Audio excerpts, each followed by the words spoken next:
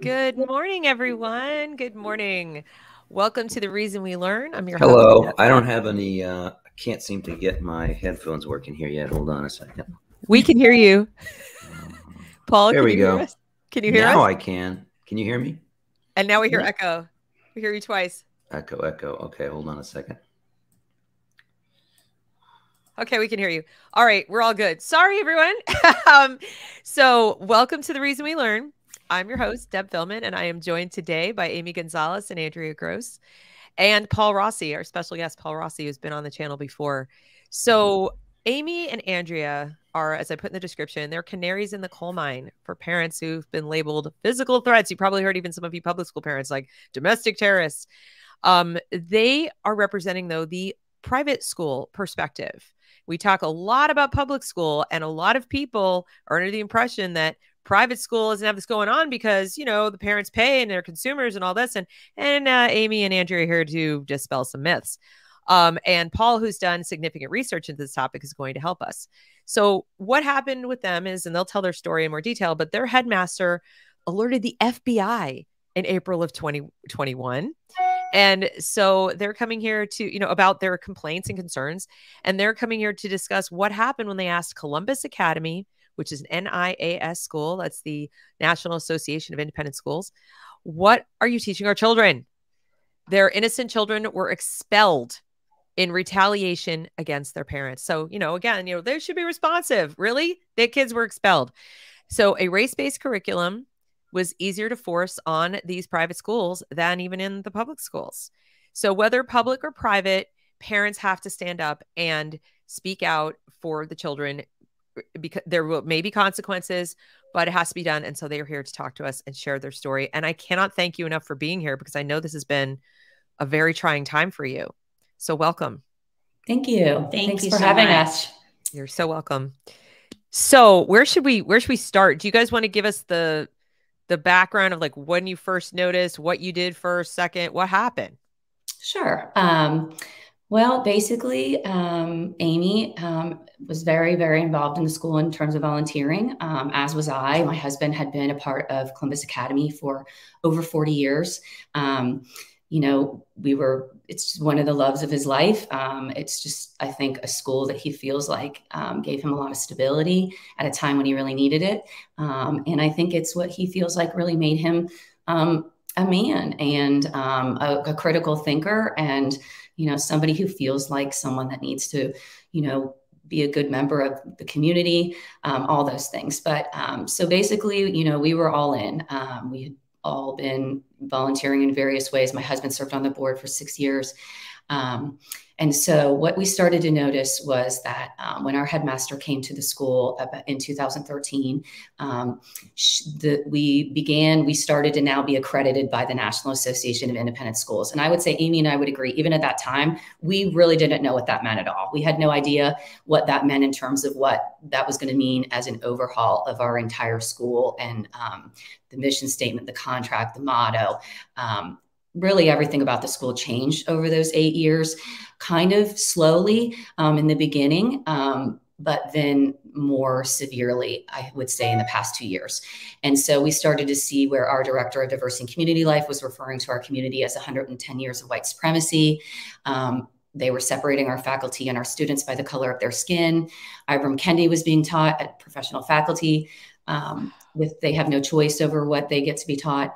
Um, so these are the questions we were asking. Also, basic questions about how do you get on our board of trustees? Um, we were being told over and over again at various levels that we were going to throughout the school that um, you know basically people would go in, we would find out other other other parents ask about various things and um, they would be told either you're the only one that feels that way um, or they would be given the okay yes and um, and then basically it would just be brushed aside and nothing would be done it's so your- it's like it's your children's perception. or it's your perception um, nothing um, so basically So your kids were coming home and saying this was happening. Or did you lots of kids i mean my daughter was in the upper school so i Oh, think okay. she noticed it those students i think are more aware of what's happening to them versus able to when, yeah, articulate. when you're younger but there was a um, a supposed um, celebration of Martin Luther King, which was not that at all. Um, it was a very, um, they said it was organically like created by the students, which it was not. It was scripted um, by the school. It was organized by the school. And at that point, um, students were yelling at each other, you're a racist.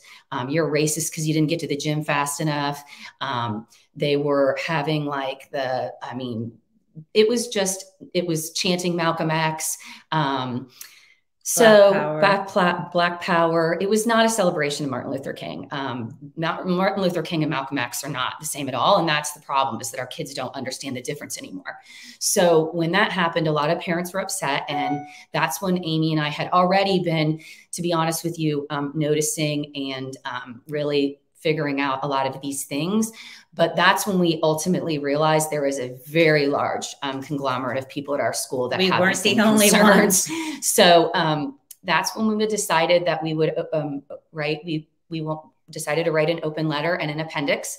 I am an attorney by background, so um, I just know that I needed to. We needed to have it very specific. It needed to not be any kind of loose allegations. It had to be things that we knew were factual, provable, actual. Um, so we we spent and we're very meticulous about making sure that that was mm-hmm. accurate. Um, and we wanted to just actually read it to our board of directors, which is 22 members. Um, knowing that that's such a large group, we were afraid that it would be disseminated throughout the school. So we did not want to email it to them. We wanted to read it to them. Sure. Um, our head of the board, Jonathan Cass, decided, uh, told us that he only speaks to other board members, so he would not speak to us. Um, we we tried multiple different ways to get it to not only him to see if we could speak to him. Um, we tried to also speak to the board through um, the assistant head of the school. Um, all of them told us that they don't speak to other board members. So then we asked. So that was one of our questions. Even my husband, having been on the board, I couldn't tell you how you get on the board. Nobody knows. It's very opaque. Um, so that was one of our questions then. How do you get on the board then if you won't talk to any of us and you won't answer any of our questions about what is happening with the curriculum? Are you reading these books? Are you not reading these books? What is going on? Um, and so at that point, then after that, um, we had to email it to the board because they would not talk to us. And then the board then decided to leak the documents to certain portions of the appendix, to certain people in the building to try to sway their opinion um, to paint us as, as they were calling us, anti-black, batshit crazy Republicans. And you know, we just wanted to confront concerns with good ideas, and we just didn't realize, you know, how that was that that was going to be met with so much resistance. Right. And I want to talk about, uh, I mean, this, God, I can't imagine how traumatic that must have been. You know, people talk about trauma, they toss that word around. But when your kids are in a situation where they're caught in the middle of it, that's got to be incredibly stressful. You know, well, that, yeah. you know, I mean, we, we, we started really... there, but I mean, we started with that. Then we, ultimately had a Zoom call meeting where we brought affidavits. Um, and I mean, we stayed on that campus where Amy continued to be the lower school parent. I was the 10th grade parent.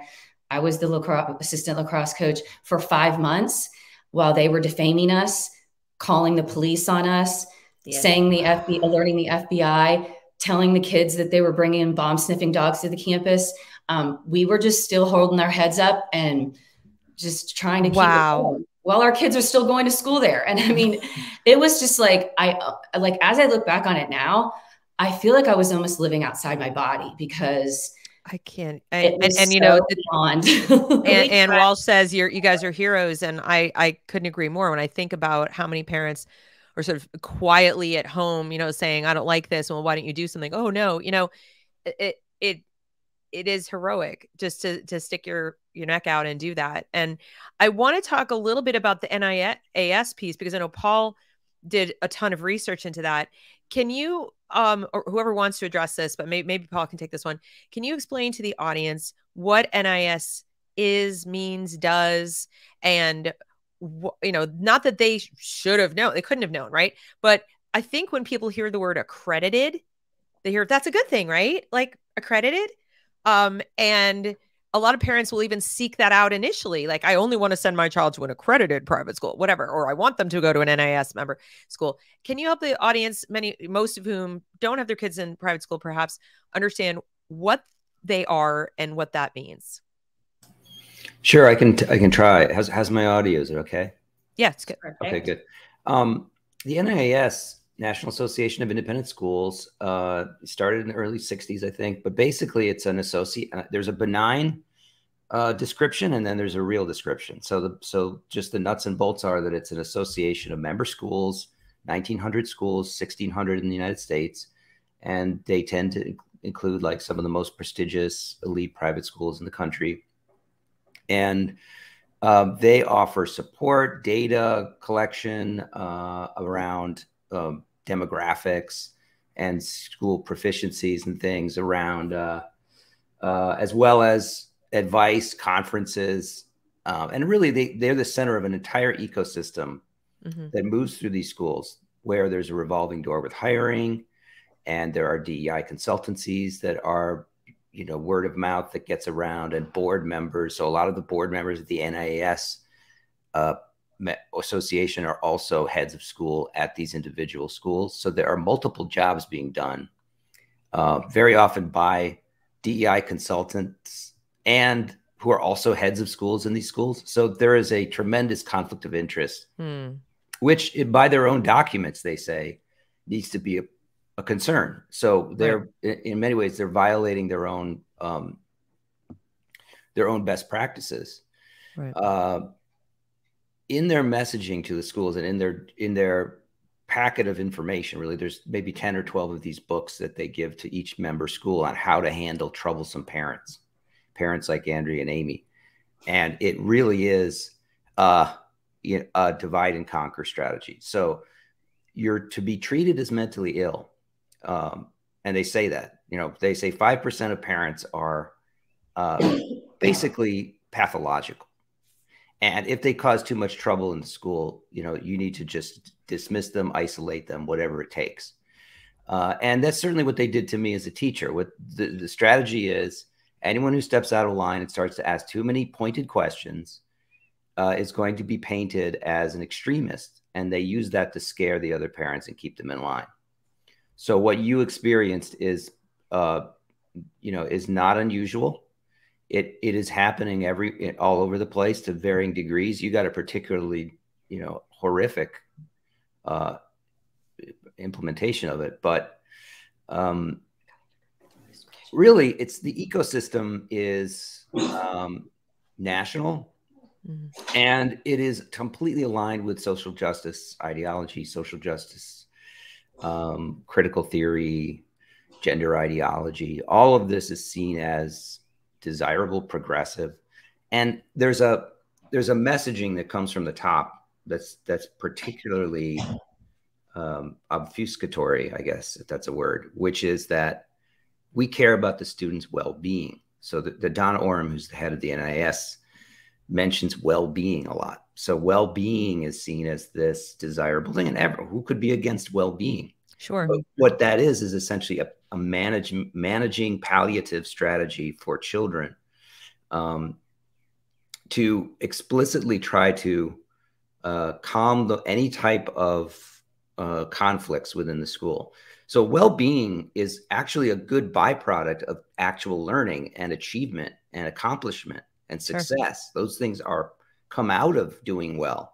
But mm-hmm. what they're doing is they're creating this shortcut and running these places uh, like like camp like a camp counselor essentially. They're not mm-hmm. they're not focused on skills and, and, and achievement anymore. They're focused on um, you know, basically kind of either ideologically or or with drugs, drugs, drugs, like calming the individual uh, mm-hmm. so that mm-hmm. they don't make a fuss. And they that's that's essentially what this is about.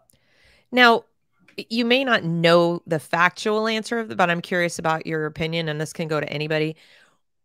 Aside from the money associated with, I would assume there's money uh, associated with joining NAS, like you know, you kind of pay to, for membership, but then also, and also any money to be made by people who are selling DEI, professional development, all that. But aside from the most venal reasons, what's in it for these people? Like, are they true believers in the ideological sense? Are they are they trying to take down the private schools? Are they trying to destroy these children? Are they trying to own them? Like, what it's for for most people, the biggest question mark is, but why? Like, I mean, this seems so transparently bad, right? Um, if kids are if kids are calling each other racist in the hallways, if they're fighting with each other more, that's certainly the opposite of well-being. And I don't care what anybody says, even if, even if Andrea and Amy were literally, you know, pathological or whatever, how does it contribute to the well-being of their children to expel them? if we care about their children, shouldn't we want to be like keeping them there and protecting them from their crazy moms? I mean, it to to kick them out that not only hurts those children who've done nothing wrong but be wrong born to the wrong people, but all the other children now, the message gets out. All the other kids are now on high alert to police their parents, I would imagine, It's like, mom, please don't say anything. Oh my God, I'm gonna get kicked out of school. Will you just please don't don't be like their moms.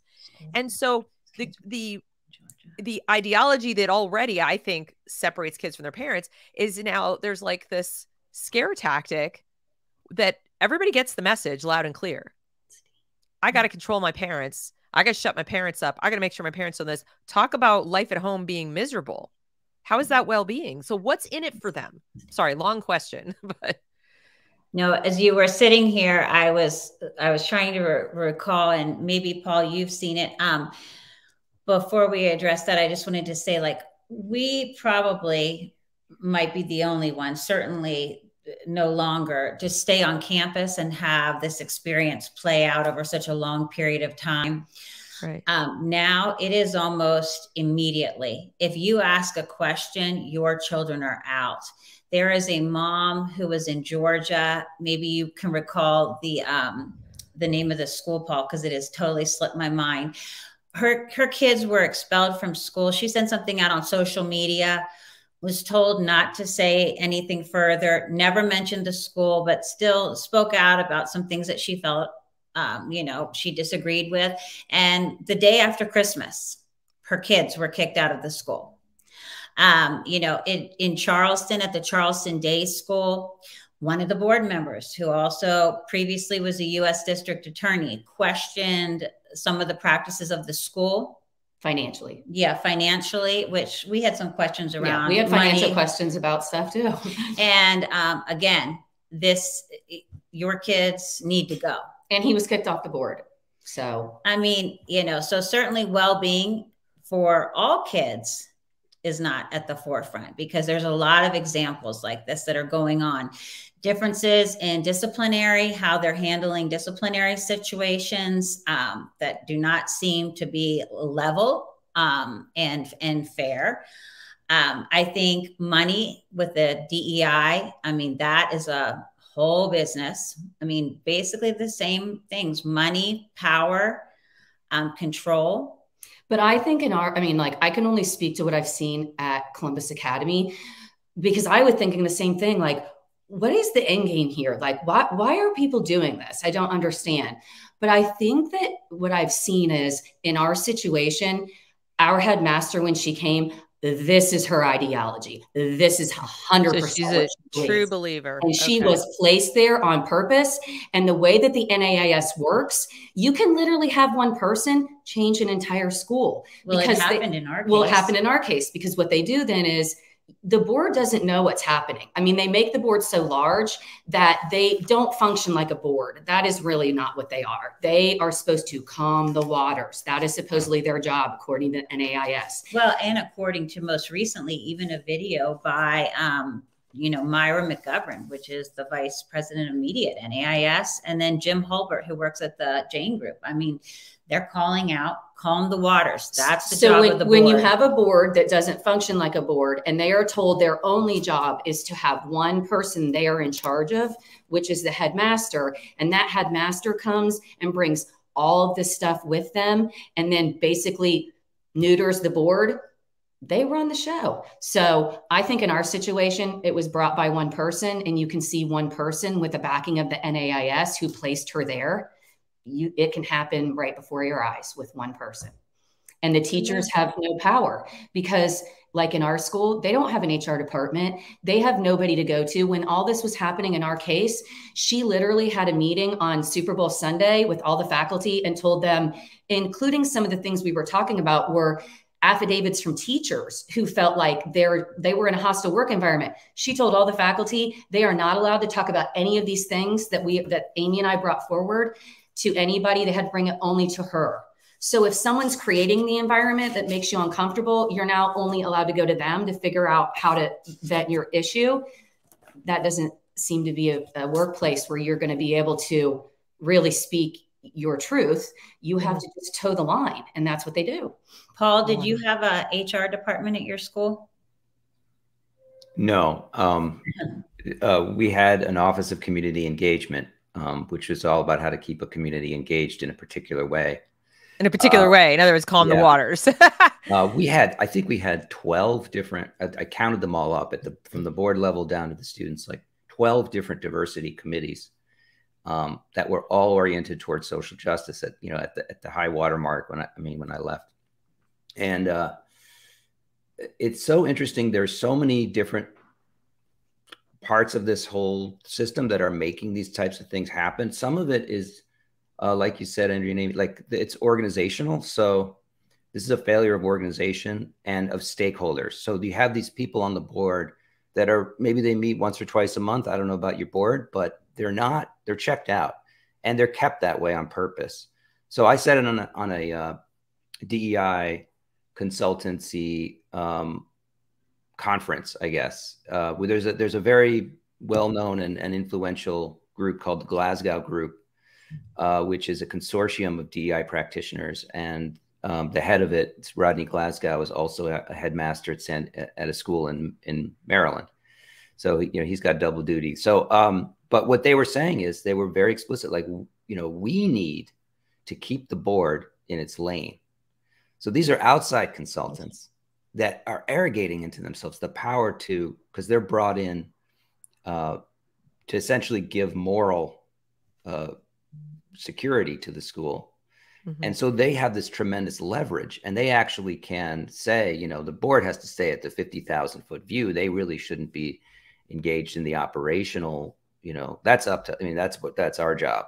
That's what we do. We come in and like, we make sure that we are, you know, giving, uh, you know, the, the interventions that are necessary so that the school can align with the best practices and around equity and inclusion and so on. So imagine, I can't imagine any other industry where the consultant has so much power, um, you know, to come in and such a, such a sense of their own, they get to set their, in, in many ways, their own agenda about what to do and they'll say, you know, listen, if if they don't want to implement what we want to do, well, we just say, you know, you don't care about diversity. And then they cave because they really know that the demographics are changing and they have to do what we say, or else they're going to get this black mark that they're not diverse enough, they're not inclusive enough, they're going to get a reputation. So it's really kind of like a mafia situation because who's going to who's going to go to the other schools and say, "Oh, this place is bad. It's not diverse." Enough. Yeah, it sounds like a, a protection racket. It is, and they'll do that with the kids too.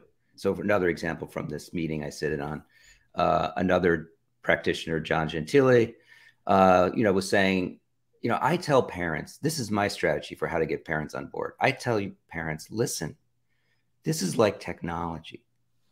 These DEI ideas that we are experts in are like technology. So, you know, you wouldn't, we use iPads and computers today. You wouldn't expect us to use pencils, right? So, we're telling your kids really important technical stuff that they need to know so that when they get to college, they don't say the wrong thing and get kicked out. So that, you know, this is a strategy. So it's like, that's a nice kid you got there. It'd be a shame if something happened to him. Why don't you let us, you know, tell you what they need so that they don't get kicked out. So that really it's this, it's, uh, it's extremely parents tricky. are too simple minded yeah. to understand. And the parents that speak out, for example, Undercover Mothers really highlighted uh, that the Lovett School, you know, they had an insubordinate list of the parents that weren't on board, you know. Um, allegedly, I mean, I guess the school investigated themselves and said that the list wasn't created, it was a farce. But um, I mean, I do believe that's, you know, then you're one of the five percenters, like Paul mentioned earlier. Well, well, on that list you mentioned, you know, it's, you know, everyone that that they spoke to on the list were like, yeah, I know why I'm on that list. I might have said that one thing one time. I might have criticized them. So even though they claim that it's not authentic, of course, the person that did the investigation is connected to the board. Uh, so it's it's really there's and of course they're not transparent about how they conducted it. So right. it's really right. there's a lot of questions around. So that. the the irony here is that the the people running around uh, people politicians not sure they're people but anyway so the politicians running around right now selling parents on the idea of for example vouchers and they're saying you need to just get your kids into a private school or pull them out and you know give you vouchers vote for us we'll give you vouchers you can go to private school they're selling you a bill of goods because the irony is you have fewer protections, if that's even possible, than you do in the public. In the public school, you've got your FOIA requests that are by law, they've got to divulge certain information. They can try to hide it, they can't. You've got school boards that, as ineffectual as they may be, as biased as they may be, they have to be recorded, they have to be out in the open. Um, you know, if you go and you speak to them, that's you know that's recorded in public comment. So you know there is a record that this happened so they can't say you said xyz when you didn't really say it. Um there's just you know i don't know that i would we all now at this point 2 years in realize those don't really offer a lot of protection but now imagine don't even having that or not having like you don't have that at all. You're on your own. It's all secret. It's behind closed doors. And you know like you said paul it's got this like mob mentality almost where people who aren't even literally connected to the school have more power than the people who are and who are stakeholders in the school to the point where the only way you can envision anything happening is mass mutiny. I mean, literally, like, you know, two thirds of the parents showing up in a mob, right? You know, like, or pulling their kids out simultaneously.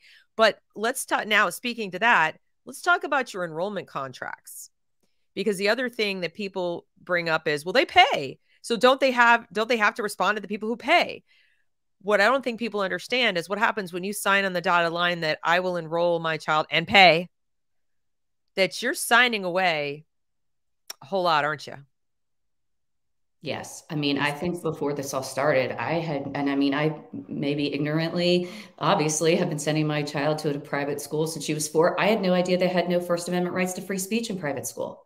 Students do not have that right. Nor parents. Nor parents, apparently. and again, these contracts, I mean, you know, they're all being overhauled. Um, you know, there's this politeness um, aspect to all of them. And allegedly is the reason that all these kids are now getting kicked out, which is the reason that our kids got kicked out is because Amy and I broke the politeness contract.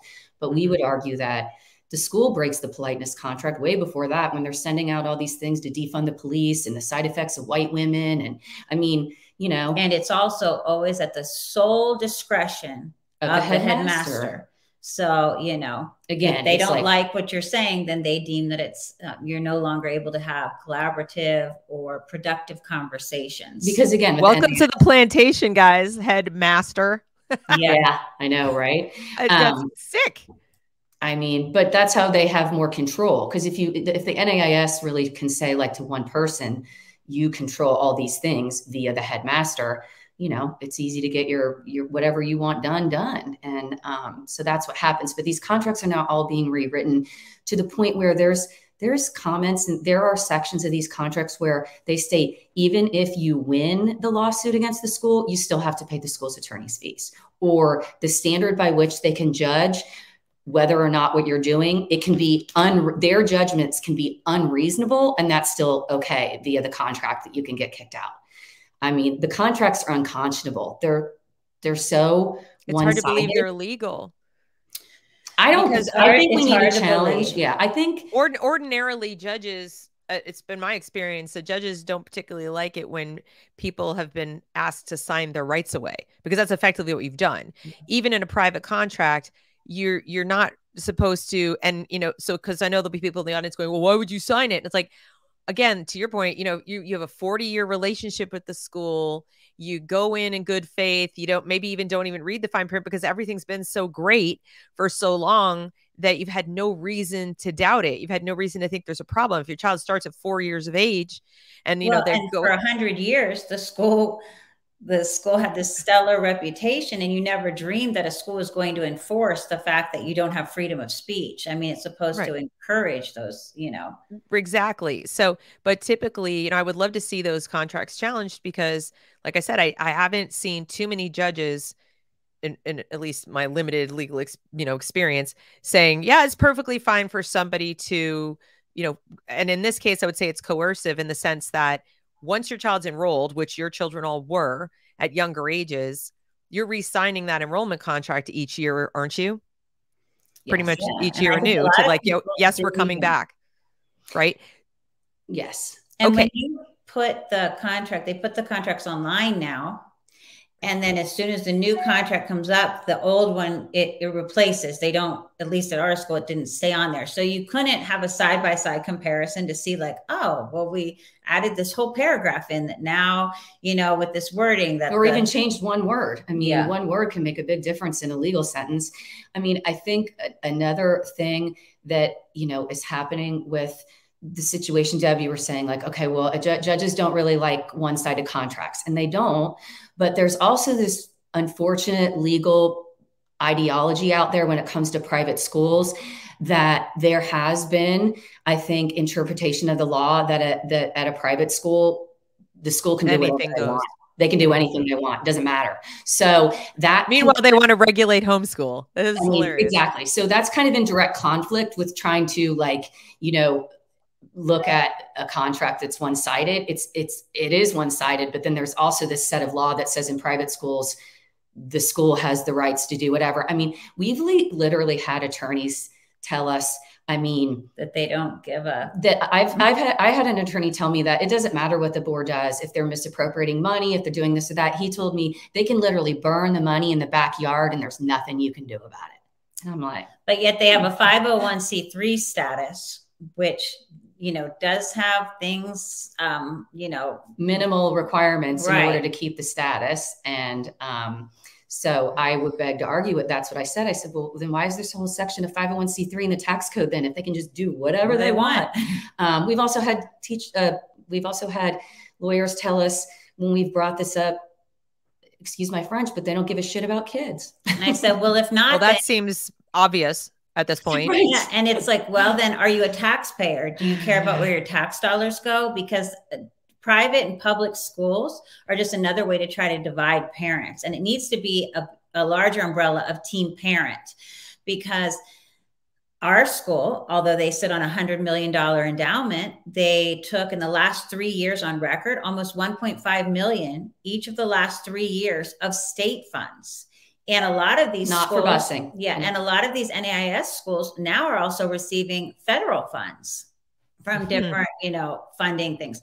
So, you know, that opens up. I'm whole- starting to see it now that the NAIS is the Trojan horse for the government to, you know, quietly, silently get into the private schools. And I don't just mean in terms of, you know, get government money in there to do what they want, but also to get these policies that would be consistent with very one-sided, you know, statism, basically, where the state is just going to control it. Not only that, you just mentioned a hundred million dollar endowment. That's a giant pot of money multiplied times sixteen hundred, and some endowments are even bigger than oh that. Oh my goodness! So, so that one's small, million. right? So you've got like if, if you're the DEI people and the NAIS, and you sit in a room somewhere and you go, you know, guys. there's probably like a billion dollars or more, you know, like out there that we can just quite literally turn to our own service if we want. And the kids be damned. The kids are just the kids are just like cogs in the machine. They just they need to show up, their parents need to show up and keep paying. And there will always be that percentage of parents that will pay for the name. Thinking and, like, well, that's for the that college. Money as a weapon because that's what they use to intimidate the parents because they sit on these big endowments and they will intimidate you saying, I mean, word on the street was, we're, we're going to bury you. I mean, that's what the word on the street is that the Columbus Academy is going to try to do to us. Well, and if you're not getting your tuition back anyway, they're like, we'll expel you and they keep your tuition. Exactly. So it's not even like you could say, I'm taking my money and I'm going to walk. You're not. You're leaving your money on the table. So you're not only leaving your tax money for the public school you're not using, but you're leaving the private school money that you did spend. Um, and on the table. So the incentive to try to fix it, try to make it work, try to deal with it. plus your kids going, please don't get me kicked out of school. Please keep your mouth shut, mom. It's, it is a world of difference, in my opinion, worse than the public school situation. At least you can publicly complain about the public school. Right. And At like, for example, I think Undercover Mothers had highlighted Spence. I, I think they sit on over $300 million endowment at Spence.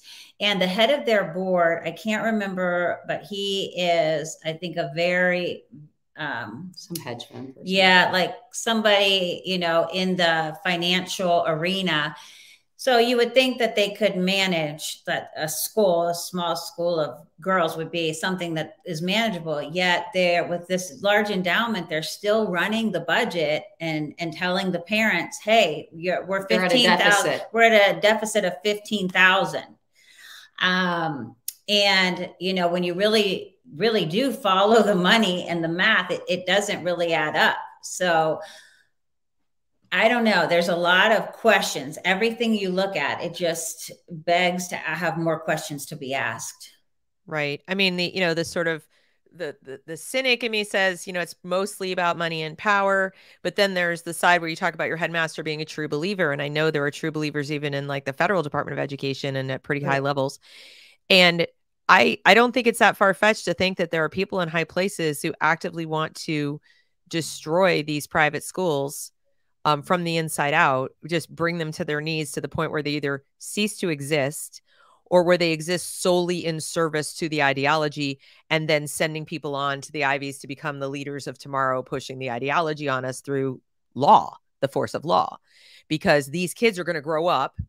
They are from the, you know, the, the families and so forth that are going to send most likely the Harvards and the Yales and the so forth. And we see what's going on at Yale Law School and then those people are the ones coming out and running for office and getting elected. And i mean there could be that incentive.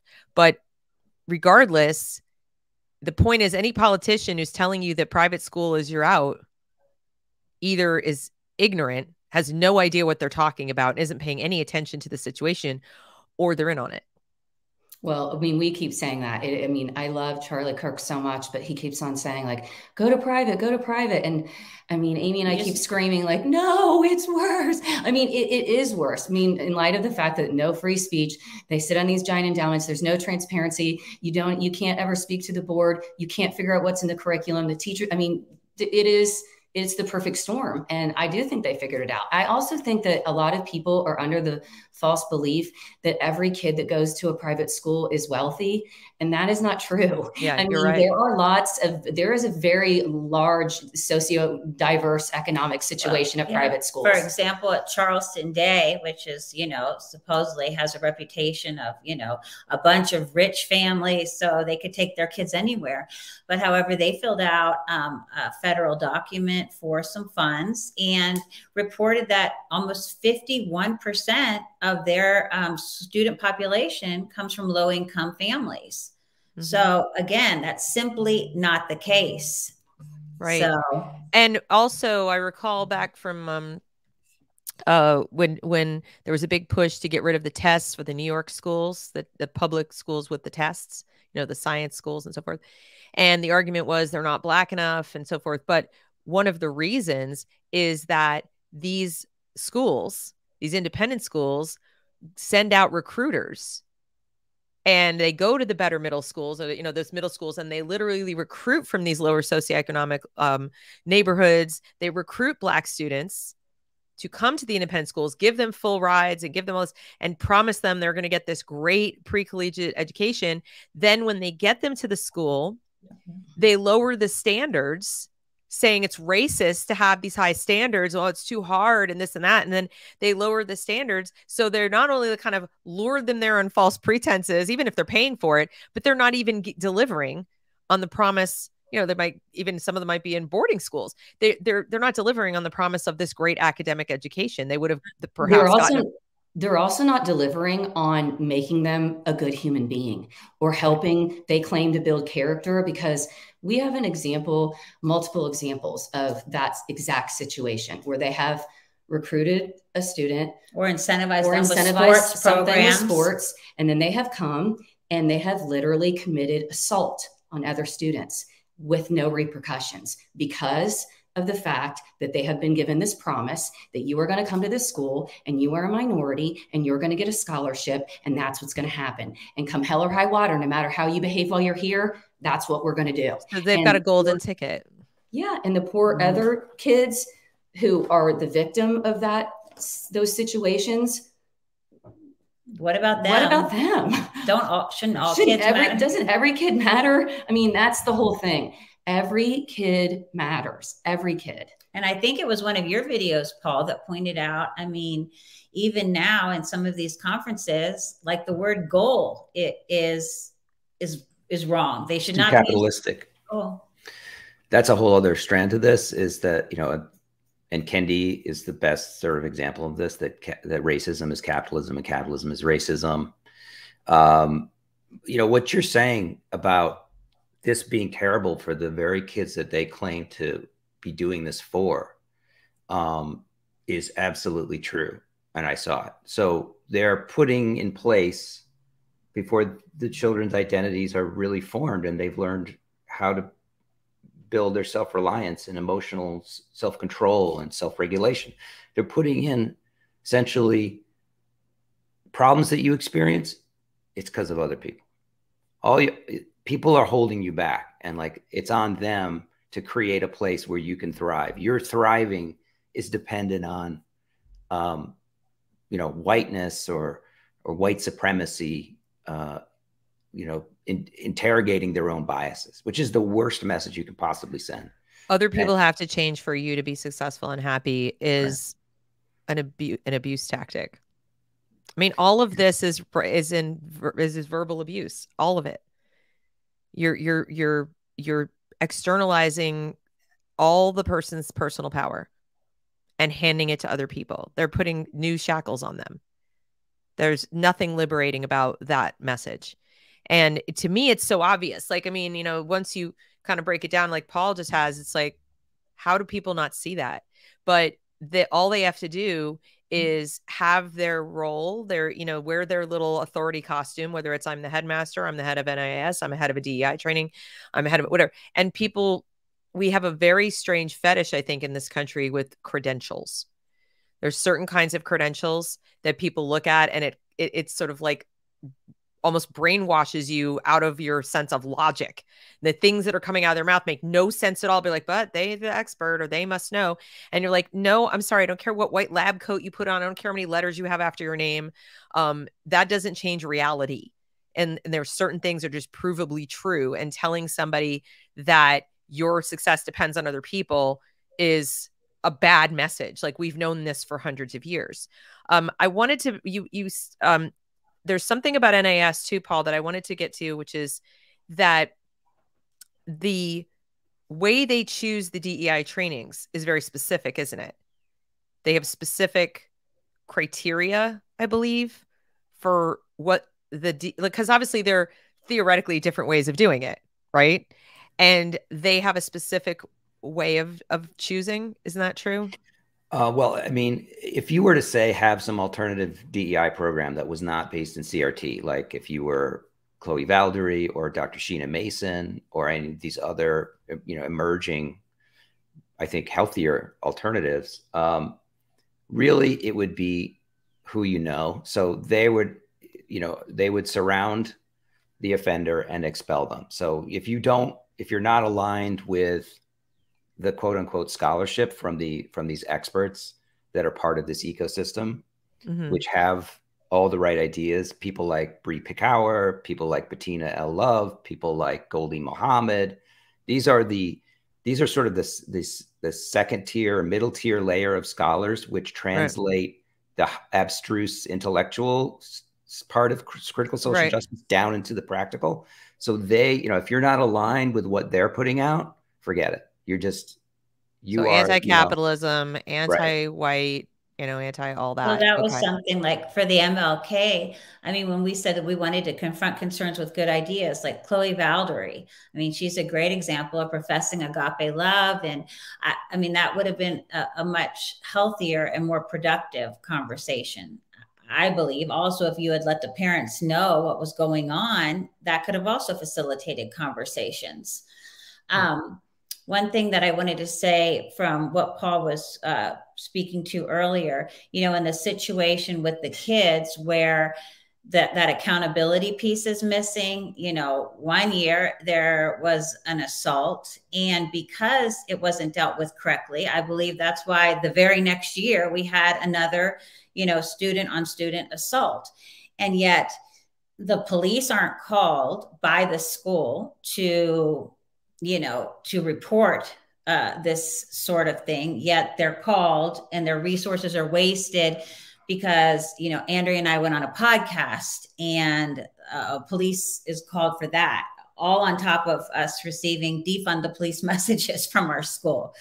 Um, you know but that's all because again with NAIS all disciplinary matters all disciplinary matters are only only handled by the headmaster i mean the board doesn't even know what's happening so, so, she's basically the dictator of the school. I mean, there's no, there's really no other way to put it. This person is the totalitarian dictator of the school. Anything she says goes, no matter how unreasonable. All discipline goes through one person. There's not, it, there's not even a, a panel. I mean, even when I went to prep school, there was a panel of people handling discipline, and it was a rotating panel, so nobody could ever get really entrenched. And it was made up of the teachers. It was made up of, uh, you know, I think it was the assistant headmaster. It wasn't even the headmaster. Headmaster was mostly out raising money, and but it was rotating membership so that you wouldn't get some power hungry person, right? They, they, it's almost like jury duty, like people serve their time on this disciplinary panel. And as I recall, thinking back to people I knew who got disciplined, people weren't afraid to go before the disciplinary panel because they felt like it was fair. I mean, you get some people got kicked out, but the point is, you felt like this was more like what we Americans would call due process, right? And oh, the person who was that going questions that we, we had expelled, about that as well. But when we got expelled, I mean, right. talk about due process. We asked for a copy of the contract and we asked for an appeal, and they told us we are not entitled to either of those those those things nor so, will they provide nothing and we got no warning i mean there was no warning actually our the head of our board gave amy and i written permission via email via email to speak to any person or any third party about the school or its leadership at any time. And that's before we went and spoke uh, to, to anybody. Any, to anybody. And the only reason we ever did is because weeks and weeks had gone You're by and they were just stonewalling us. and you just have a lot of questions. And as the time goes by again it, it appeared to be a two-tiered justice system for discipline at our school. So we had more and more questions. And you know, there's. Do you feel now like they set you up with that? Well, it's, I mean, again, you know, there was another group that came to our board that same year, and they are what we're called Mosaic, and they are the Black group of families at our school. And you are only allowed to be in that group if you are Black. It didn't used to be like that, but it is like that now. And they came to the school and I mean, I guess some parents that are biracial yeah, couples okay, are but, in, but yeah. Pretty much I would not yeah. be allowed in it. Um, and so what happened was is one of the board members um, actually told um, myself amy that they had come to the school with 30 demands and demands was the word that he, he used of the school and this is like right after george floyd and so right after that happened um, all of a sudden like 50% of every faculty meeting had to be discussing race, no matter what class, no matter what, which our teachers tell us that bled into like 100%, if not 90% of every faculty meeting. So you're not discussing academics at all, anymore. This is all you're talking about. Um, all the faculty um, professional development changed. Um, lots of the curriculum changed. Um, and we didn't understand and, These were 30 demands that were the most important things to a, a very large part of our community. Why wouldn't they want to share them with everybody so we could all be aware? Right. Why wouldn't we want to solve and, them as a community? And we wanted to ask, like, well, did you meet all the demands? And if not, why not? But we weren't even allowed to know about that. So the thing is, though, is that nobody ever knew that that group came forward because the board did not decide to burn them down to the ground like they did Amy and I we came with questions and they treated us completely differently. So again, it is a two-tiered system of how they deal with people. I mean, just depends who you are and what what, what your, skin color what is. skin color. Or I was going to say it sounds not just two-tiered, it sounds literally segregated. Uh, you know, I want to I want to add here because this is moral intimidation. This is how it proceeds. So they use moral intimidation. They use the language of moral intimidation from um, radical, you know, 60s movements, essentially demands. Uh, but I don't think it is ultimately about race because if you are a person with dark skin and you don't mm-hmm. align with the ideology, you're not right. welcome either. Right. Um, so this is about yeah. uh, this is about ideas and a kind of uh, moral framework that that have been put in place where people are being intimidated into joining it. Uh, they, I mean, I've watched training sessions where they explicitly tell um, social justice aligned Black educators how to keep their skin folk who aren't kinfolk mm-hmm. out of their conversations. So, you know, they'll say, you know, if a person who's a black and brown comes to your session, but they're not aligned with what we're talking about, you know, they got to get to stepping. Like they literally talk about excluding people who don't conform to those ideas. So, and at this, at, by the same token, if you're a white person, of course, you're always going to be white supremacist um, you know, and you're constantly interrogating your biases. But if you know that and you have acknowledged that, then you're gained access as an ally and co-conspirator and all the rest of it. So, uh, you know, the the race is the actual, you know, race or skin color or whatever colorism is is not really the differentiator here. It's used when it's pragmatic to get to for that moral intimidation, mm-hmm. but it's not exclusive. Yeah, that's a good point.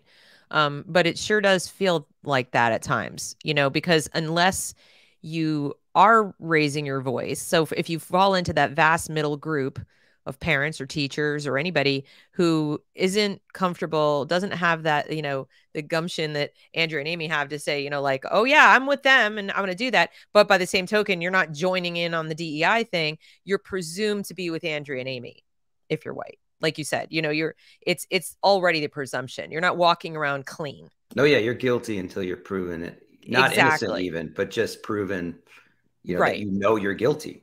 That's, and the same the thing goes and the same thing goes for what you know the so-called black and brown parents and teachers and so forth. You're presumed innocent until you prove that you're guilty. Like if you gave any aid and comfort to andrea and amy or those ideas you'd be out uh, the same as they are but you're presumed innocent. You're given that. So that's, I think, what you guys mean by the two tier is there's a cost to remaining silent that is a, I mean, uh, not silent, but there's a, certainly a bigger cost to speaking up.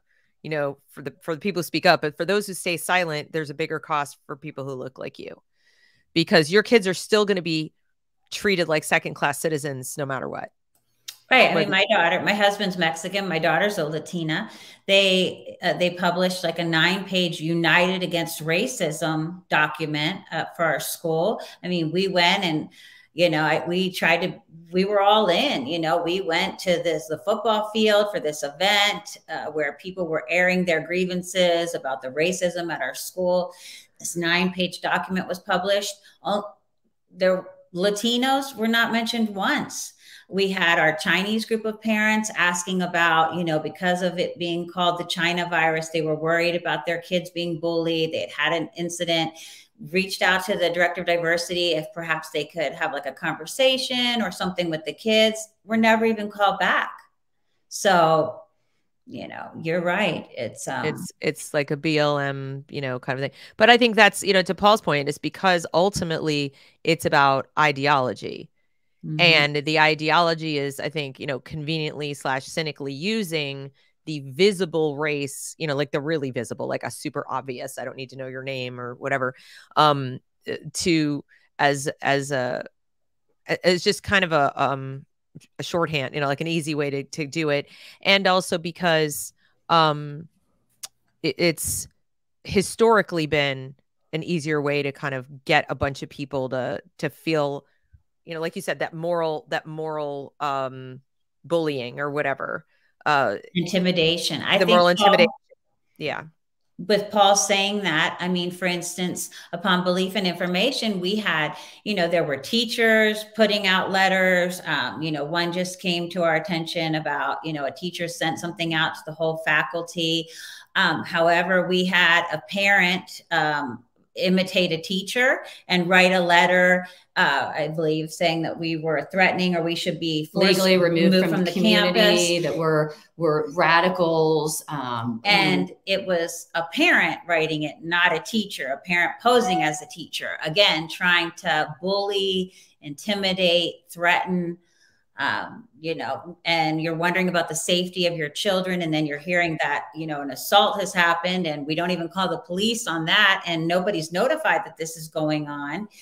And yet the information was only leaked to my daughter's teacher at first. So, you know, we're asking, are, the, are our kids okay? And they don't even respond to us. I mean, the teacher who, who, the ethics teacher who wrote this nasty letter saying, the know, ethics teacher. As we dance on the lawn and he tends to our children, I hate to tell him, but it's a job and he's getting paid for it. So, I mean, you know, whatever, keep that in right. consideration. But and also, it's like whose children are ripped they? us to shreds. These are our children. These are not your children. Well, right.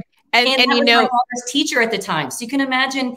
You know how I can't imagine. Actually, now that we look back her. that this letter went out, and you know what was going on, you know, to make her feel you know, intimidate. This is this is, uh, this is straight from the NAIS. In their handbook for the administration, they say you have to realize, you know, administrators, that you are the senior partner in the relationship with the child with respect to their education at your school. That the parents are the secondary partner. Like they are not part of these.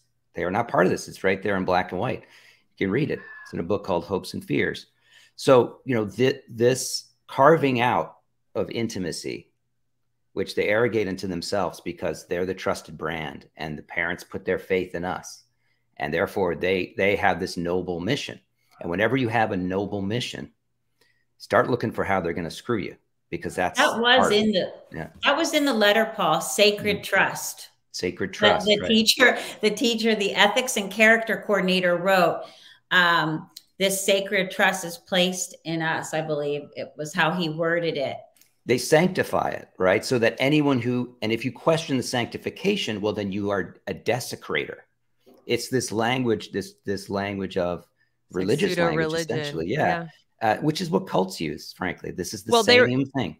I was talking about this the other day um, because one of my locals members said it's got all the the attributes of Gnosticism because they also have this secret knowledge. They're the, they they're the, the ones, the guardians of the secret knowledge, and they're going to give that to your kids, and then your kids are going to go on. And of course, nobody stops and says, "Well, why do I want my kids to have knowledge I don't have?" You know, like why do I want my kids to go into this inner sanctum where they're going to learn like secret things that are going to you know, like the secret technology these words, the yeah. word salad that they're. Well, you're just an old parent. You don't know how to use the VCR. You know that's for the kids to figure. it. Like that's going to help them. Why would life. the school validate that? That's like the opposite. When I went to school, it was how they were going to turn me into a functioning adult. In other words, how I was going to learn respect for adults, how I was going to learn to become an adult that people would respect, that I would have earned citizen. it. Right, well, and is, all this things. because yeah, they own the culture, so they're looking at this with a long-term view. Like these people are going to be in positions of power, and it's as a secret language right? It's a shib. These are shibboleths that all the kids have to know how to talk to each other, and we control this. This is vertically integrated. So this is why this is not about this is not a libertarian market problem. This is a cultural problem, and it spans private, it spans public, it's right. everywhere. And so you know, going. Back, I'm back really glad you, you saying, said that because I've been saying for for months, right? There, there's not a political solution to this problem. This is a mm-hmm. cultural problem, and that Americans um, first of all, need to not hold the word American in their mouth like they're eating poop. They need to say it proudly. And they need to remember, we need to remember that we're only going to keep like our bill of rights and you know all all of the you know individualism our values the the liberal values right that we you know that we we all thought whether whichever party you were in most americans certainly if you went to another country that didn't have freedom of speech and didn't have the right to defend themselves it didn't have things we have most americans would suddenly be liberal. Like we'd all we'd all be like wait a minute i have rights. And we're not you don't that's not automatic you have to pass that to the next generation. Ronald Reagan famously said that, right? We're only one generation away at any given time. And that means it has to be taught. So if you have people actively teaching kids that that's bad, you're not going to have America. You're not going to have all these things. They aren't just going to stick around with different people in charge. You're going to have what happened to Andrea and Amy on a national scale. You're going to have the government be the headmaster saying, We own your kids now, step aside. It's well, already happening. Chinese, our Chinese parents said this is like, um, they said, for as frightened as you are, we're a hundred times more frightened because this is so reminiscent of Mao's China. And right. to, you know, that you toe the line. But it's right. so happening still again, as we said in the beginning, it's like, well, why would people be paying for this? Why would you allow this to be happening? How could you just sit back and watch it? It's happening though, because again, the goal is to create divide, I believe, between the student and the parent. And the kids don't come home and like necessarily like give you all the details on this stuff. I mean, even the things that we have, you know, in working, you know, with the thousands of undercover parents across the country, I mean, you have to dig for a lot of this stuff. I mean, it's they make it purposely not easy to see. It's very much secretly interwoven. And it is obvious when you're looking for it and really digging. But if you're sitting back and you're a busy mom or a dad, like I have a friend um, who went to um, academy and has four kids there now. It's very, very bright. Um, and literally, like, doesn't see it. And I just said, but do you see over the past eight years the mission statement, the motto, the contracts, um, the curriculum, everything has changed. And well, she's and like, had, oh my gosh, you're right. I've had so many parents say to me, like, oh, because I mean, I would be at the school for like six hours or, you know, volunteering, making billboards, you know, doing uh, our bulletin boards, doing whatever I could to help the teachers. And I had so many people say, Oh my gosh, I can't believe they did this to you. You know, you were always at the school. I'm so surprised. And I said, Well, thank goodness I was always at the school because and because of being in like a parents an affinity group which i thought was a great thing because i didn't understand. I thought oh this is great. We're sharing culture with everybody but i didn't realize what the mission was there. That's how i saw a lot of these things and i said if i hadn't been there i probably would have just dropped my kid off picked them up a carpool line and thought you know everything's great. You yeah. know you want to do the best for your child and i thought this school was it Right. And then, you know, what's your other option? So exactly. if you know, if you have your kids in the private school, let's say because you know, like Charlie was recommending because the the public school is just as bad, like where are you going to go now? And I mean, that's when I say things like, you know, try try to homeschool, start micro schools, all that. But the point is you have to first know what's happening. You have to really understand and ha- like internalize that you can't fix it because your initial impulse is, well, let's try to fix it. Like you said, let's go with better mm-hmm. ideas. Mm-hmm. Let's try to help. There was a family here at Charlotte Latin School that did that. They got 60 families oh, together. Goodness. I don't know if you've seen that story. They mm-hmm, they uh-huh. got 60 families here. They put together the most professional presentation I've ever seen. It was gorgeous. Not to mention it was really positive. And it included, you know, all kinds of suggestions for how to work in healthy DEI. I mean, it was really quite it was really quite extraordinary how much time and money and effort they put into it and the response, the foaming at the mouth, anger, and the like escorting these poor little children to their lockers and cleaning them out and dumping them on the sidewalk without so much as a buy or leave was absolutely barbaric. Well, they and, can't show something a better option because that's an option right. that people are going to be like, I can get behind that. And as you know, we got hundreds of people behind us. I mean, we cannot allow this to happen because we're giving common sense and asking common sense questions. And the more things that you will not answer, just leads you to think, what are Why you hiding? Why are you hiding? If everything's so right. great, like why? Like, what is so hard about saying, what books are you reading to our third graders? I mean, that's just how simple the questions are. Right. So how that's why people think there has to be an ulterior motive. That there no more no more leeway for like, well, they just don't realize how wrong they are. No, they they believe this. This is an agenda to, I mean, put a fine point on it. You know, take over.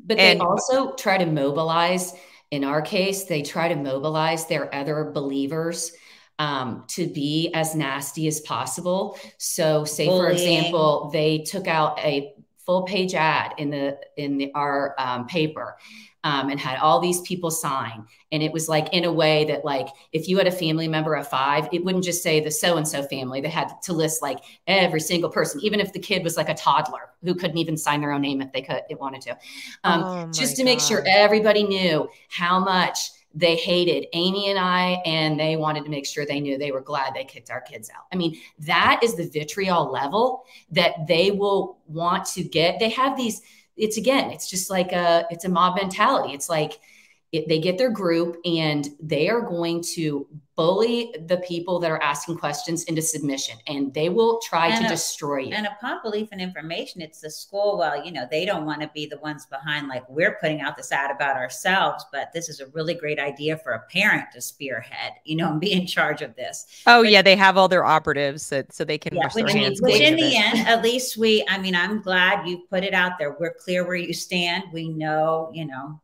I mean, the At funny same- thing is, they said Amy, they keep saying Amy and I went on a campaign um, against them. We have no social media. I mean, you guys both know from just interacting with us as Lydia. Just trying to figure out Chrome to zero, get on zero here. technology skills. Like I'm going to help you with that. Uh, we'll say after the call. Yeah. Um, yeah. I mean, like you know, basically, you know, they said that we, but but when we look at it, say for example, oh, they also said that we um we they accused us of felony. Oh yeah, they accused us of hacking Twitter. the Twitter account. Now we couldn't figure out how to get Chrome on here to get this up and going. But y'all are Twitter hackers. we can hack Twitter, the Twitter and our school's email account. Yeah. which are two felonies, which they published to the whole school. But that being said, it's like you know they they they basically um, just want to do anything. And to make you feel bullied and intimidated, predatory alienation. You are alone. Nobody likes but you. But why they say kids. we were doing this campaign, which we were doing complete grassroots, we have nothing. Right. They spent how much in advertising last year? Oh my gosh. Like the know. Spence School, I think over three years, or maybe it was Dalton in, in New York, over the past three years has spent like zero dollars in advertising. I think Columbus Academy has spent like over a million dollars. in the past several years. On, so I mean, yet they anybody was 10, on a campaign. Yeah, and again, and even if you did, I mean, that's the thing is like, you know, we we got to go back to the fact that they've they've decided that because you have children at the school that you don't have the right to speak outside the school even. Like it's not just at the school to their teachers because of teacher safety or whatever. No it's like they're telling you how to behave in your own private life and and, and how far does that go? Because it's right. the parents now. The parents don't have it. So how but, about the grandparents? But the new contracts say that like anybody you're affiliated with, which like who could that be? Like your fifth cousin could say something, you know, and then your kid gets kicked out. Right. I mean, that's and, and so what I want, what I want the audience to understand is that there is no. I, I'm just going to keep saying it.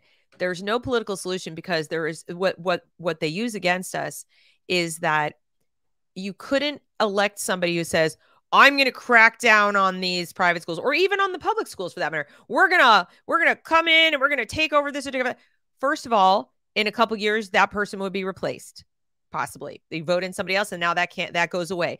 Or even if it's 6 years, that goes away. So the the the that's not going to work. Not to mention, do you really respond to this kind of totalitarian action with other totalitarian action? So the remedy they win anyway so it, you know what I mean? It's like if the goal is that you lose control, that you parents aren't the stakeholders, that your children are not individuals, that they're cogs in a giant collectivist machine. And the only, and you start coming up with like, let's have a remedy where somebody comes in with a strong arm and laws and this and that.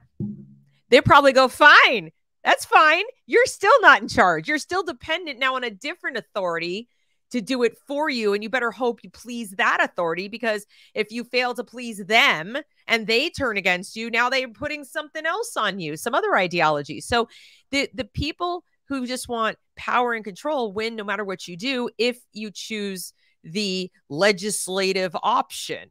You know, that's why bans on CRT aren't going to work. So to me, the only way is to not play the game you know like unless they're going to literally come to our doors and t- with with soldiers and march our little children off to their state building which i mean could happen but uh, it, it's unless that's happening we still have one measure of control and it's to not go. And i know that's like a really really hard thing for a lot of parents to swallow right now is like but i have all this investment and all this and i get it and it's excruciatingly painful but that aside i mean like that's not going to change So, what I mean, what do you guys think? Like, what other options do parents have other than to to walk away, like you said, team parent, band together with other parents, create your own solutions, form your own little schools where you are the stakeholders. Don't ever, ever hire outside consultants. Like, I don't know. What do you guys think? What's what's the answer? I have a thought. You know, one thing I've been doing um, just briefly is I've been talking to a lot of wonderful people that are starting classical schools, new private schools that are based on a completely different model. And one of the things they've asked me is, well, what do we do about our DEI policy? You know, because they're going to come after us because they're going to say we're racist. And I was like, who's they? Exactly. well, first of all, who's they? But also, don't use any of their words. All of exactly. these words, these Gnostic uh, words like diversity, equity, inclusion, don't try to play. If you play with on their field, you will lose because they own that frame. They have all the quote unquote expertise and credentials about they know what all that stuff means under the hood. What you can do is you can say, look, all we value character over identity because yes. identity is that is the engine of all the pretty words. That's the root of the tree. And so you have to go underneath what they're saying and say, look, everyone knows what's going on with you with these people. They value identity over character. The things that make and your child strong are their individual moral choices. We, we want to make stronger kids. We want to make kids that are you know skilled and and and we want to arm them, not empower them, but arm them with what they need to right. be good citizens. And then you can you can build everything on top of that, and you don't even have to explain yourself or use any of their language because it's all crap. And they will win if you try to play that. That's why I'm against anything that says, "Oh, alternative DEI." No, those words are dead Everyone knows what it means. They know what it means better than you. Don't even try. Same well, with SEL, same with all of it. We agree with the classical education. I mean, we homeschool and people think, well, I work and have a job, but there's a lot of people that come together as co-ops that that do different um, you know, there are some Christian schools. I mean, certainly the Episcopalian and um, what are the other the other school that seems to be going the DEI awesome. route? Pro, no, what is it? Paul, do you? Oh, Presbyterian, yeah. Presbyterian. The Catholic schools, schools, too. You have to be careful. Oh yeah, the. Catholic. I mean, that yeah. was the first lawsuits in Missouri. Um, what was I going to say?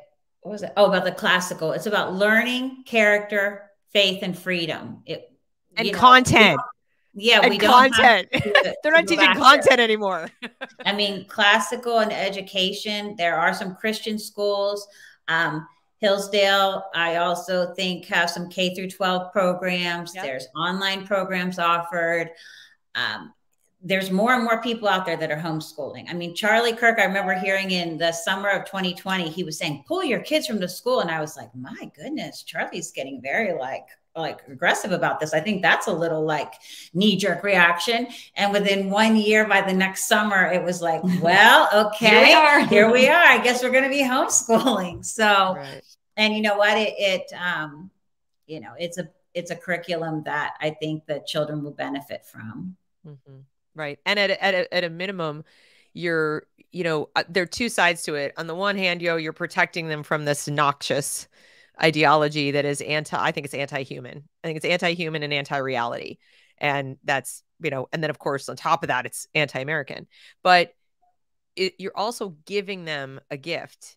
You're giving them access to the education you you hoped they would get in the first place. You you were you mm-hmm. really originally planning to give them, but you were foiled by these other adults who are acting like toddlers. And, you know, uh, that's our job as a parent, right? I mean, we're, we, we're, we wouldn't think twice about pulling our kids from an environment where somebody said they were going to feed our kids. And yet they were feeding them like mac and cheese and chicken nuggets every single meal. We wouldn't think twice about it. We'd be like, that is not nutrition. I, I gotta I gotta get you out of there and feed you some vegetables and some healthy stuff. And it's kind of the same thing. It's it and with all the materials now available, like you said, co-ops and the different materials that they practically hand it to you, like Hillsdale K-12 at home is is is a scope and sequence and even reading lists and all kinds of stuff handed to you. Here it is. Just follow. So you don't have to be a teacher per se. You can just find avail yourself of teachers that are out there and not in these schools or and use these materials and it, i think people don't realize how much easier it is to do than it is to do battle with these schools you guys have had the couple years from hell. Just trying to get your kids what you've already paid for. And that's been the story for so many parents. They're going to school board meetings they're doing these things and i'm like imagine you spent that took the effort the time and the money that all that cost and put it into doing it yourself some kind of way and not just you alone but like you and 10 the 10 friends that you went to the school board meeting with or you went to the the board with or whatever you know you get all of you together and say you know what? Wait a minute. We're smart people. We could do this.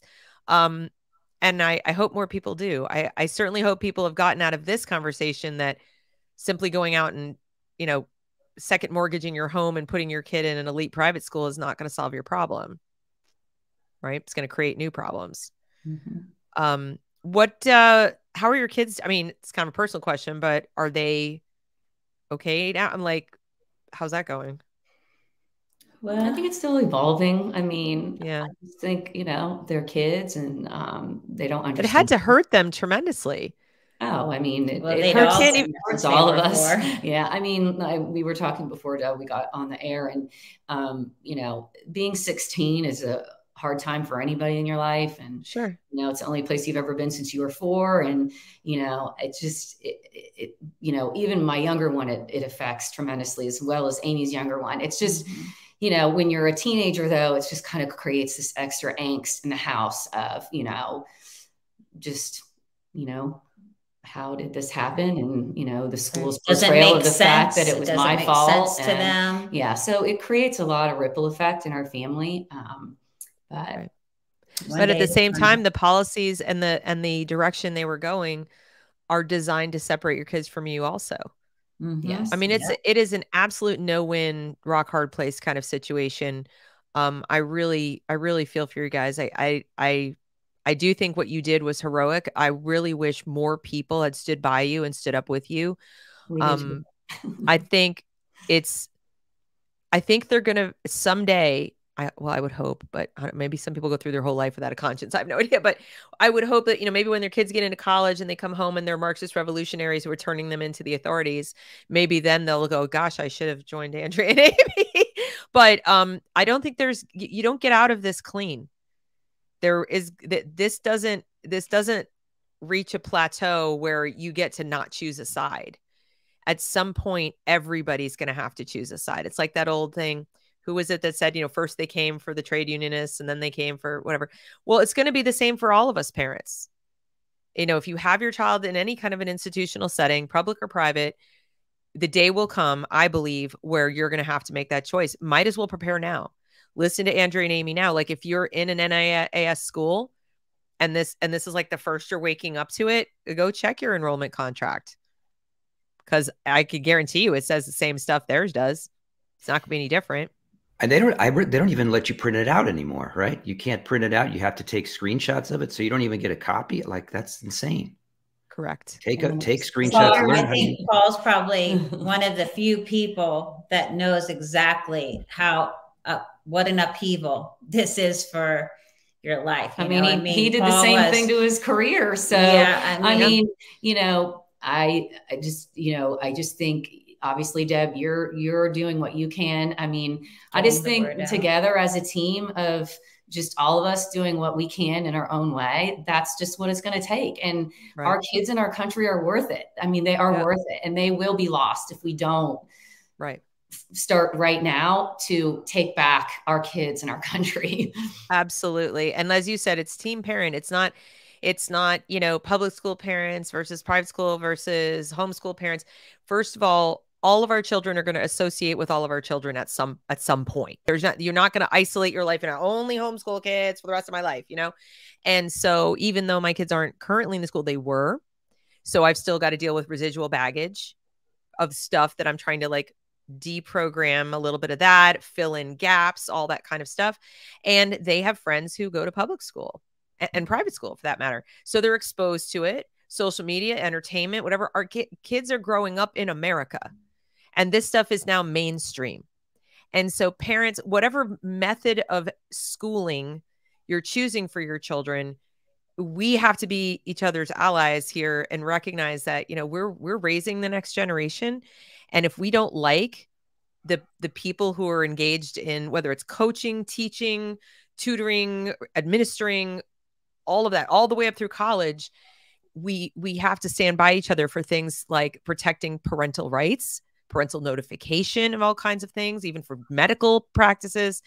And also um you know what gets what gets done in institutions our kids don't attend because you never know what tomorrow brings right? I mean if something happened and i had to like i had no choice and i put my youngest in, into the public high school uh couldn't homeschool her anymore i, I got to care about what's going on there right? So there it, it, i just think we have to work together and i really hope that people um you know hear that message and recognize that when they're standing up and talking about what's going on in their school that it they're also speaking for some person on the other side of the country, whether they realize it or not. That's what I think, anyway. That's what I try to do here on this channel. Well, um, public or private. I mean, Undercover Mothers is, uh, you know, like we said, hundreds, if not thousands, of people across the country. So if you want to send in something that's going on in your school, they're collecting that data and trying to, you know, that's how we're recognizing patterns things are going on um, right. how can people how can people send things to you? Or how can people get involved and join you guys in in your fight? Or what what what can what can be done?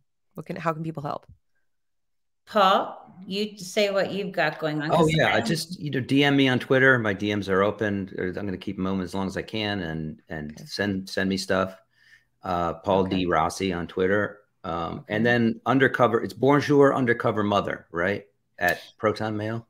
Uh, yes, and also on Twitter, I we don't have Twitter, and I'm not sure because that's another like department of of mothers that handles all of that social media stuff. I believe direct DMs are open as well.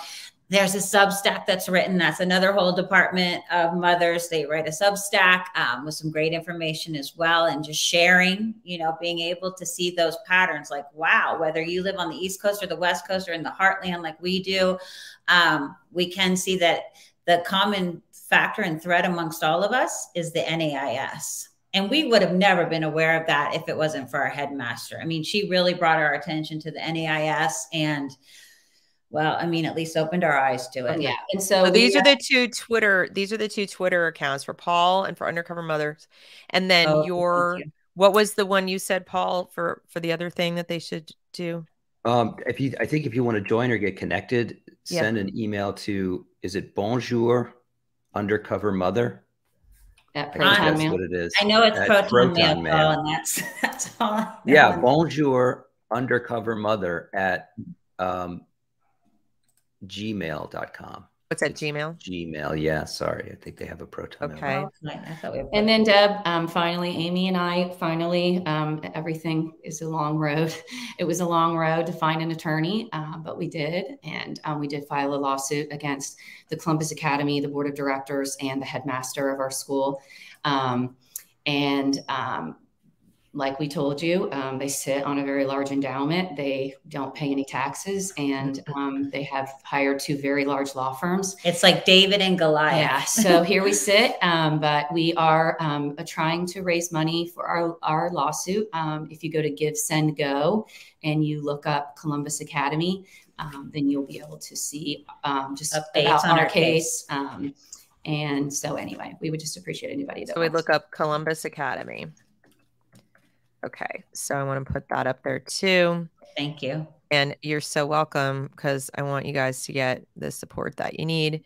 And and mostly, like I said, I, I hope um so go to givesendgo.com and I think it's .com and then look up Columbus Academy. Um, I hope if nothing else, we've dispelled the myth that private schools aren't out. So if you're upset with public schools and that you know private schools are better private schools are freer private schools all the myths that that people used to have about what they were they're actually not true.